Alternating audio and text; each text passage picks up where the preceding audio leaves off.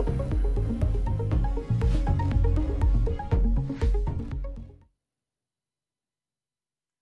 ഇന്നത്തെ വാർത്തകളിലേക്ക് കടക്കുന്നതിന് മുൻപ് നാളെ പ്രേക്ഷകർ പ്രതീക്ഷിക്കുന്ന വാർത്തകൾ കൂടി ഒന്ന് പരിശോധിക്കാം. നാളത്തെ വാർത്തകൾ.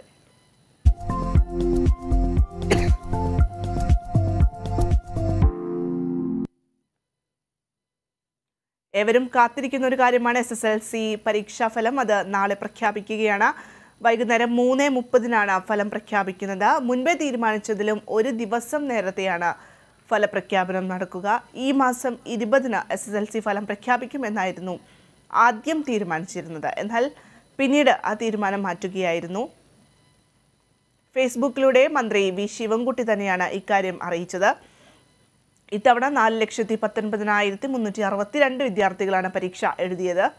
അതേസമയം പ്രൈവറ്റായി നൂറ്റി തൊണ്ണൂറ്റി രണ്ട് പേരും പരീക്ഷ എഴുതിയിട്ടുണ്ട്. ഹയർ സെക്കൻഡറി ഫലം ഈ മാസം ഇരുപത്തി അഞ്ചിനും പ്രഖ്യാപിക്കും. പാഠ്യേതര വിഷയങ്ങളിൽ മികവ് പുലർത്തിയ വിദ്യാർത്ഥികൾക്ക് ഗ്രേസ് മാർക്ക് ഉണ്ട് എന്ന പ്രത്യേകതയും ഇക്കുറിയുണ്ട്.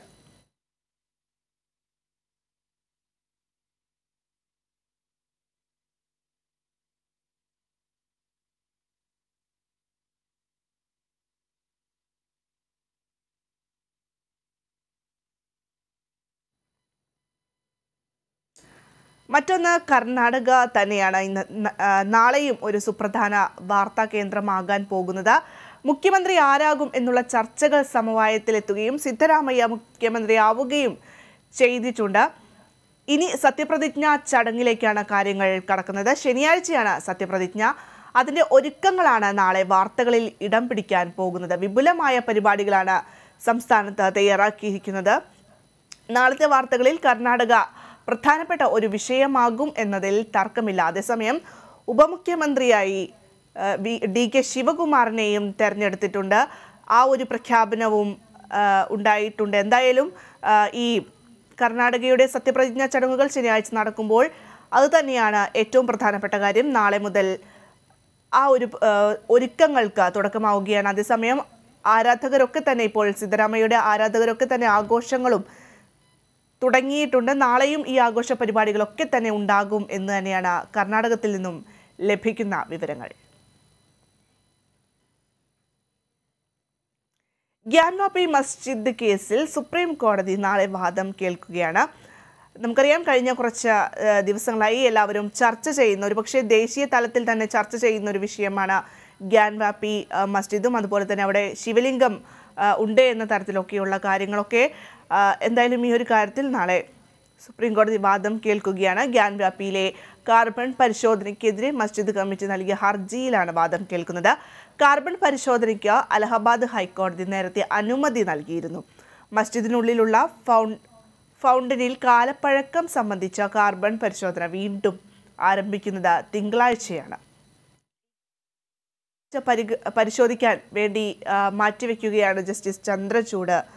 അറിയിച്ചു. എന്നാൽ പള്ളി കമ്മിറ്റിക്ക് വേണ്ടി ഹാജരായ ഉഫൈസി തിങ്കളാഴ്ചയാണ് കാർബൺ ഡേറ്റ് നടക്കുന്നതെന്ന് കോടതി അറിയിച്ചിരുന്നു. ഇതോടെയാണ് കേസ് നാളത്തേക്ക് മാറ്റുന്ന ഒരു സാഹചര്യമുണ്ടായത്.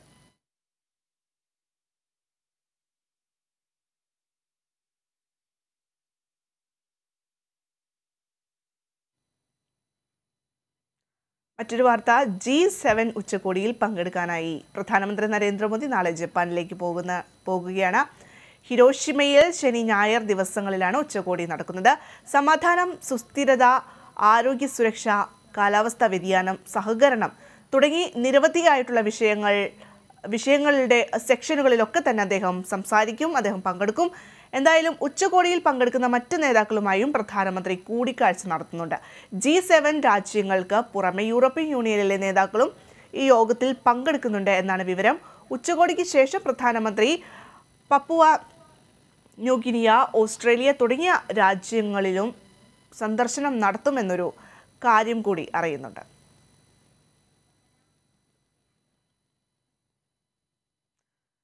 മറ്റൊരു പ്രധാനപ്പെട്ട വാർത്ത നാളെ പ്രേക്ഷകർ പ്രതീക്ഷിക്കുന്നത് എന്ന് പറയുന്നത്. നമുക്കറിയാം കഴിഞ്ഞ കുറച്ച് ദിവസങ്ങളായി കേരളത്തെ നടുക്കിയ ഒരു സംഭവമായിരുന്നു ഡോക്ടർ വന്ദനയുടെ കൊലപാതക കേസ്. എന്തായാലും ആ, ഒരു വാർത്തയെക്കുറിച്ചുള്ള അതിന്റെ ഒരു അപ്ഡേഷനാണ് നാളെ പ്രതീക്ഷിക്കുന്നത്. അതായത് കേസുമായി ബന്ധപ്പെട്ട തെളിവെടുപ്പ് നാളെയും തുടരാനാണ് സാധ്യത. ഇന്നും തെളിവെടുപ്പ് ഉണ്ടായിരുന്നു. അങ്ങനെയാണെങ്കിൽ ഇത് നാളത്തെ ഒരു പ്രധാന വാർത്തയായി പ്രേക്ഷകർക്ക് പ്രതീക്ഷിക്കാവുന്നതാണ്. ഇന്ന് പ്രതിയുടെ വീട്ടിലെത്തിച്ചുള്ള തെളിവെടുപ്പൊക്കെ നടന്നിരുന്നു. നാളെയും ഈ തെളിവെടുപ്പ് നടക്കും. ഒരു പക്ഷേ വീണ്ടുമുള്ള ചോദ്യം ചെയ്യലുകളൊക്കെ തന്നെ ഉണ്ടാകും. ഈ പ്രതിയുമായി ബന്ധപ്പെട്ട പ്രതിയുടെ ബന്ധുക്കളും അതുപോലെ തന്നെ സുഹൃത്തുക്കളുമൊക്കെ കേന്ദ്രീകരിച്ച് നേരത്തെ ഒരു ചോദ്യം ചെയ്യൽ നടപടികൾ നടന്നിരുന്നു. ഒരു പക്ഷേ നാളെയും ഇത് നീട്ടാനുള്ളൊരു സാധ്യത അല്ലെങ്കിൽ നാളെ വീണ്ടും ഒരു ചോദ്യം ചെയ്യൽ നടപടികൾ തെളിവെടുപ്പ് നടപടികളിലൊക്കെ കടക്കാനുള്ള ഒരു സാധ്യതയുണ്ട്. എന്തായാലും ഈ ഒരു വാർത്തയും നാളെ പ്രേക്ഷകർ പ്രതീക്ഷിക്കുന്നുണ്ട്.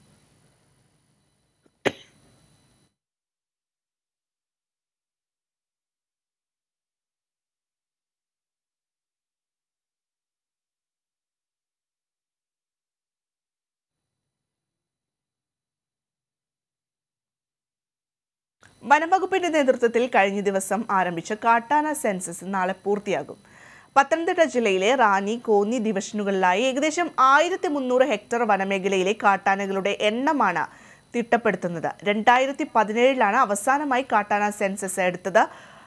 അന്ന് ഏകദേശം മൂവായിരത്തി അഞ്ഞൂറ് കാട്ടാനകൾ ഉണ്ട് എന്നാണ് കണ്ടെത്തിയിരുന്നത്. ഇത്തവണ റാന്നി ഡിവിഷനിൽ മുപ്പത്തിയാറ് ബ്ലോക്കുകളിലായി നൂറ്റിയെട്ട് ഉദ്യോഗസ്ഥരാണ് സെൻസസ് ജോലിയിലുള്ളത്.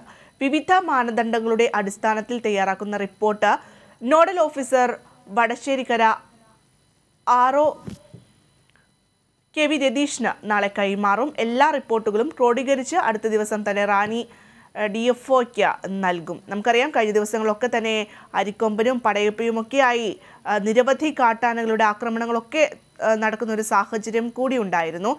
ഈ ഇതൊക്കെ പരിശോ വെച്ചുകൊണ്ടാണ് ഇപ്പോൾ കാട്ടാനകളുടെ എണ്ണം പരിശോധിക്കാനുള്ള ഒരു തീരുമാനത്തിലേക്ക് എത്തിയിട്ടുള്ളത്. ഇത് ആദ്യത്തെ സംഭവമല്ല നേരത്തെയും പല സമയങ്ങളിൽ കാട്ടാനകളുടെ എണ്ണമൊക്കെ എടുക്കുന്ന ഒരു സാഹചര്യം കൂടി ഉണ്ടായിരുന്നു. മാത്രമല്ല ഈ വന്യമൃഗങ്ങൾക്കെതിരെ നടക്കുന്ന അതിക്രമങ്ങളും വർദ്ധിച്ചു വരുന്ന ഒരു സാഹചര്യം കൂടിയുണ്ട്.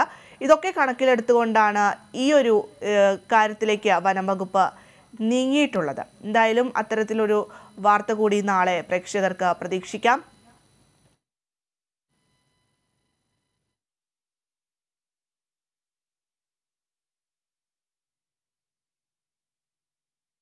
മറ്റൊരു പ്രധാനപ്പെട്ട വാർത്ത എന്ന് പറയുന്നത്. സുഡാനിൽ ആഭ്യന്തര സംഘർഷത്തിൽ കൊല്ലപ്പെട്ട ആർബർട്ട് ആഗസ്റ്റിന്റെ മൃതദേഹം നാളെ കേരളത്തിലേക്ക് എത്തിക്കും. സുഡാനിൽ നിന്നും മൃതദേഹം വ്യോമ സേനാ വിമാനത്തിൽ നാളെ ന്യൂഡൽഹി പാലം വിമാനത്താവളത്തിൽ എത്തിക്കും. അതുപോലെ തന്നെ ഡൽഹിയിൽ നിന്ന് എയർ ഇന്ത്യ വിമാനത്തിൽ ഉച്ചയ്ക്ക് രണ്ടരയ്ക്ക് കൊച്ചിയിലെത്തിച്ച് ബന്ധുക്കൾക്ക് കൈമാറും കേന്ദ്ര വിദേശകാര്യ സഹമന്ത്രി വി മുരളീധരനാണ് ഇക്കാര്യം സ്ഥിരീകരിച്ചത്. ഏപ്രിൽ പതിനാലിനാണ് സുഡാനിലെ ഗാർത്തുമിൽ ആൽബർട്ട് അഗസ്റ്റിൻ വെടിയേറ്റ് മരണപ്പെടുന്നത്.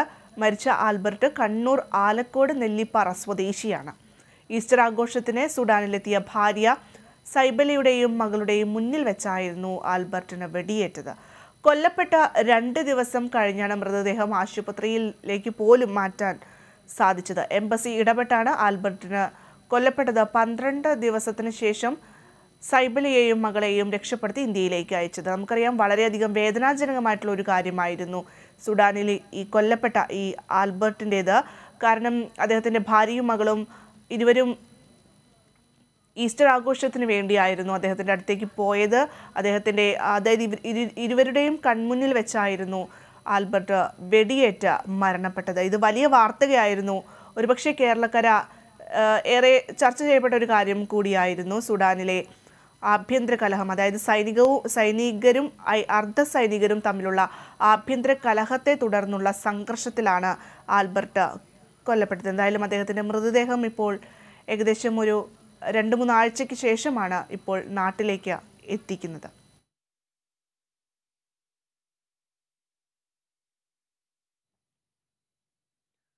ശബരിമല പൊന്നമ്പലമേട്ടിൽ അതിക്രമിച്ചു കയറി പൂജ നടത്തിയെന്ന കേസിൽ തുടർ നടപടികൾ തുടരുകയാണ്.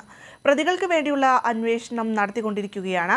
പ്രതികൾ ഇപ്പോഴും ഒളിവിൽ തുടരുകയാണ്. നാളെ പ്രത്യേകമായി ശ്രദ്ധിക്കുന്ന ഒരു വാർത്ത കൂടിയാണിത്. ഒരുപക്ഷെ പ്രതികളിലേക്ക് എത്താനുള്ള ഒരു സാധ്യത കൂടിയുണ്ട്. എന്തായാലും ഈ ഒരു വാർത്തയും നാളെ പ്രേക്ഷകർ പ്രതീക്ഷിക്കുന്നുണ്ട്. മാലിന്യമുക്തം നവകേരളം ക്യാമ്പയിനുമായി നാഷണൽ സർവീസ് സ്കീം പങ്കാളികളാകുന്നതിന്റെ ഭാഗമായി സംസ്ഥാനതല പ്രഖ്യാപനം നാളെ രാവിലെ മറൈൻ ഡ്രൈവിൽ വെച്ച് തദ്ദേശ സ്വയംഭരണ എക്സൈസ് വകുപ്പ് മന്ത്രി എം പി രാജേഷ് ഉദ്ഘാടനം ചെയ്യും. എൻ എസ് എസ് വിദ്യാർത്ഥികൾ ശേഖരിച്ച നൂറ് മാലിന്യക്കൂനകളുടെ ചിത്രങ്ങൾ ഉദ്ഘാടന ചടങ്ങിൽ റൂമിന്റെ പോർട്ടലിലേക്ക് അപ്ലോഡ് ചെയ്യും.